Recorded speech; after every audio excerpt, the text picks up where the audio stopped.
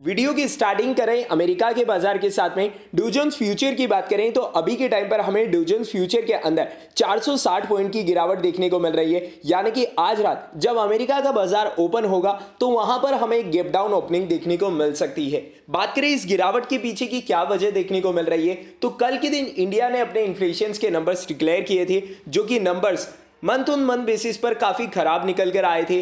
और साथ ही साथ, आज के दिन अमेरिका के इन्फ्लेशन के नंबर्स आने वाले हैं, या यूँ कहें के नंबर्स निकल कर आ चुके हैं। आप देख सकते हैं रिसेंटली ये प्रेस रिलीज़ यहाँ पर निकल कर आ रही है, जिसमें US annual inflation eases down to 8.2 percent बस बट एसेलरेटेड इन सितंबर यानी कि यूएस ने अपने सितंबर महीने के इन्फ्लेशन के नंबर्स को डिक्लेयर कर दिया है और नंबर जो निकल कर आए हैं, वो आठ दशमलव दो प्रतिशत के निकल कर आए हैं। यानी कि इंडिया से तो यूएस के अंदर अभी महँगाई दर बहुत ज़्यादा है, लेकिन ओवरऑल अगर यहाँ पर बात करी जाए तो नंबर्स में हमें गिरावट देखने को मिल रही है। अगर मंथ ऑन मंथ बेसिस पर यूएस के इन्फ्लेशन के डाटा को अगर चेक करते हैं तो तो ये देखना बहुत ज़्यादा इंपॉर्टेंट होगा कि यूएस का बाज़ार आज रात को जब ओपन होता है तो उसकी क्लोजिंग किस प्रकार से निकल कर आती है।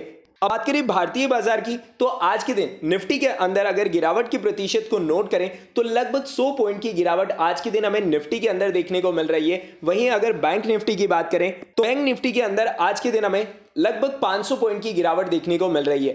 तो बाज़ार में गिरावट की पहले की सबसे बड़ी वजह थी इंडिया के इन्फ्लेशन के नंबर जी हाँ दोस्तों, पिछले तीन सालों में अभी तक का हाईएस्ट इन्फ्लेशन यहाँ पर, यानी कि भारतीय बाज़ार के अंदर देखने को मिल रहा है, जिसके चलते यहाँ पर हमें आज के दिन सेलिंग प्रेशर देखने को मिला है। और इन्फ्लेशन के बढ़ने के कारण हमारी जो इंडियन करेंसी है, जो रुपए है, वो कंटिन्यूसली वीक होते हुए देखने को मिल रहा है। और इसी को लेकर आरबीआई की तरफ़ से आज के दिन इंटरवेंशन किया गया, यानी कि मार्केट अवर्स के बीच में ही एक इंपॉर्टेंट डिसीज़न लिया गया। बैंकिंग सेक्टर को लेकर, जिस कारण से आज के दिन निफ्टी बैंक के अंदर आपको इतनी बड़ी गिरावट देखने को मिली है। RBI ask local bank to not build position in offshore market तो यहाँ पर अब जितनी भी प्राइवेट बैंक हमें देखने को मिलती है मार्केट में, वो ओपन मार्केट में तो अपनी पोजीशन से जो नॉन ड्यूरेबल फॉरवर्ड मार्केट है, वहाँ पर उसे बिल्ड नहीं कर पाएगी। आप देख सकते हैं the Reserve Bank of India seeking to arrest the rupee slide is asking local banks to not build additional position in the non-deliverable forward market, a move that could lead to offshore volatility. यानी कि ultimately अगर मैं आपको easy language में बताऊँ तो यहाँ पर आरबीआई का कहना है कि जितनी भी प्राइवेट बैंकें हैं, वो अब यहाँ पर ऑफशोर मार्केट को यहाँ पर पूरी तरीके से पोजीशंस बनाने के लिए रिस्ट्रिक्ट कर दे, यानी कि मार्केट से लिक्विडिटी को खत्म करना चाहती है आरबीआई और इसी से इन्फ्लेशन को कंट्रोल किया जाएगा।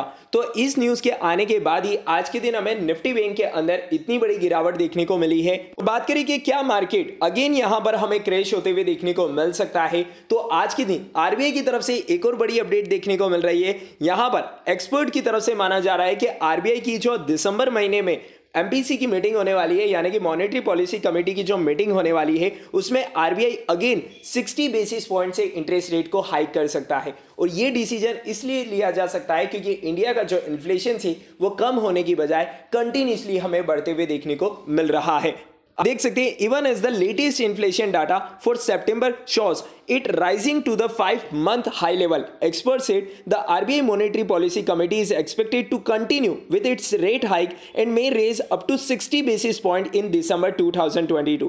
यानी कि अल्टीमेटली एक चीज़ क्लियर है कि मार्केट में शॉर्ट टर्म में वॉलिटिलिटी अभी पूरी तरीके से खत्म नहीं होने वाली है तो यहाँ पर अगर आप इन्वेस्टमेंट करना चाहते हैं तो ऐसे फंडामेंटल स्टॉक्स और ऐसे ग्रोथ स्टॉक्स जिनका एक्सपोर्ट काफ़ी अच्छा है। IT sector banking sector pharma sector वहाँ पर आप निवेश कर सकते हैं, जो कि आपको ऑलमोस्ट 20 टू 25 परसेंट की डिस्काउंटेड प्राइस पर देखने को मिल रहे हैं। चलिए, ये तो बात हो गई मार्केट के सिनारियों के बारे में। अब बात कर लेते हैं आज के दिन आईटी सेक्टर कंपनी माइंट्री ने भी अपने क्वार्टर टू के नतीजे क्वार्टर टू के रिज़ल्ट को डिक्लेयर कर दिया है। माइंट्री के अंदर आज के दिन अगर गिरावट की प्रतिशत को नोट करें तो अट्ठाईस रुपए की गिरावट आज के दिन हमें माइंट्री के अंदर देखने को मिल रही है। लेकिन माइंट्री अभी भी अपने सपोर्ट तीन हज़ार तीन सौ के ऊपर ट्रेड करते हुए देखने को मिल रहा है, जो कि एक पॉजिटिव साइन है। बात करें माइंट्री के फाइनेंशियल रिज़ल्ट के बारे में तो माइंट्री ने अपने क्वार्टर टू के रिज़ल्ट के अंदर पाँच करोड़ रुपए का नेट प्रॉफिट डिक्लेयर किया है, यानी कि ईयर ऑन ईयर बेसिस पर कंपनी के प्रॉफिट में सत्तावीस प्रतिशत की जम देखने को मिल रही है। लास्ट वीडियो में मैंने आपके साथ में इन्फोसिस के क्वार्टर टू के नतीजे शेयर किए, जिसमें मैंने आपको बताया कि इन्फोसिस की क्वार्टर ऑन क्वार्टर बेसिस पर तो फोर परसेंट की जंप है प्रॉफिट में और एटीन परसेंट की जंप है ईयर ऑन ईयर बेसिस के प्रॉफिट में। तो यहाँ पर इन्फोसिस से अगर हम कंपेयर करें माइंट्री के रिज़ल्ट को तो माइंट्री के रिज़ल्ट और ज़्यादा बेटर हमें देखने को मिल रहे हैं। वहीं अगर रेवेन्यू की बात करी जाए तो 31 प्रतिशत की जंप हमें माइंट्री के रेवेन्यू के अंदर भी ईयर ऑन ईयर बेसिस पर देखने को मिल रही है। बात करें कंपनी ने कितना रेवेन्यू डिक्लेयर किया है क्वार्टर टू के अंदर? कंपनी ने तीन हज़ार चार सौ करोड़ रुपए का रेवेन्यू क्वार्टर टू के अंदर डिक्लेयर किया है, जो कि लास्ट ईयर के क्वार्टर टू से बात करें तो वहाँ पर कंपनी ने दो हज़ार पाँच सौ छियासी करोड़ रुपए का रेवेन्यू डिक्लेयर किया था। तो ओवरऑल इकतीस दशमलव पाँच प्रतिशत की जम कंपनी के रेवेन्यू के अंदर हमें देखने को मिल रही है। वहीं अगर प्रॉफिट की बात करें तो इस बार तो कंपनी ने 508 करोड़ रुपए का प्रॉफिट डिक्लेयर किया है। लेकिन अगर लास्ट ईयर की बात करें तो कंपनी ने तीन करोड़ रुपए का प्रॉफिट बनाया था। तो overall year on year basis पर नतीजे माइंट्री के बहुत ही शानदार निकल कर आए हैं और माइंट्री के जो मैनेजिंग डायरेक्टर हैं चीफ एग्जीक्यूटिव ऑफिसर जिनका नाम है देवशीष चटर्जी, उनकी तरफ़ से भी काफ़ी स्ट्रॉन्ग स्टेटमेंट आते हुए देखने को मिल रहा है। आप देख सकते हैं our robust performance in the second quarter of the financial year 2023 marked a solid first half of the year यानी कि काफ़ी अच्छी ग्रोथ इन्होंने यहाँ पर एक्सपेक्ट करी थी और उसी के अकॉर्डिंग नंबर्स यहाँ पर देखने को मिल रहे हैं। साथ ही साथ कंपनी ने अपनी ऑर्डर बुक को लेकर भी यहाँ पर अपडेट डिक्लेयर करी है। The company management set with an order book of rupees 518 million US dollar for the quarter it's high signing cross 1 billion US dollar for the first time in its history तो यहाँ पर company को काफ़ी बड़ा achievement हाथ लगते हुए देखने को मिल रहा है, क्योंकि कंपनी की ऑर्डर बुक काफ़ी ज़्यादा स्ट्रॉन्ग देखी जा रही है। It is 276 active clients as of September two thirty and one million US dollar plus clients increase by 15 totalling 160 and 5 million US dollar plus client increase by three तो यहाँ पर overall इन्होंने अपने जो क्लाइंट्स हैं, उनका यहाँ पर डिटेल्स दे रखी है बाइफरकेशन दे रखा है। कि कंपनी के पास में टोटल दो एक्टिव क्लाइंट्स है। और जिसमें से भी अगर आप देखेंगे कि कंपनी को जो सबसे ज़्यादा रेवेन्यू जिन क्लाइंट से जनरेट होता है वो पंद्रह क्लाइंट है, जहाँ से कंपनी को एक बिलियन डॉलर से भी ज़्यादा का रेवेन्यू जनरेट होता है। वहीं कंपनी के पास में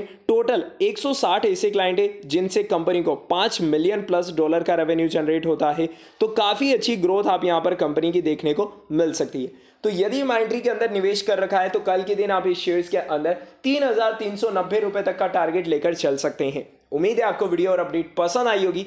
अगर आपको वीडियो और अपडेट पसंद आई है तो इसे लाइक और शेयर करना मत भूलेगा। मिलते हैं नेक्स्ट वीडियो में अनदर किसी इंपॉर्टेंट अपडेट के साथ। तब तक के लिए, अगर आपने इन्फोसिस के रिज़ल्ट वाली वीडियो अभी तक नहीं देखे तो जल्दी से जल्दी आप उस वीडियो को भी चेकआउट कर सकते हैं। Thank you for watching have a nice day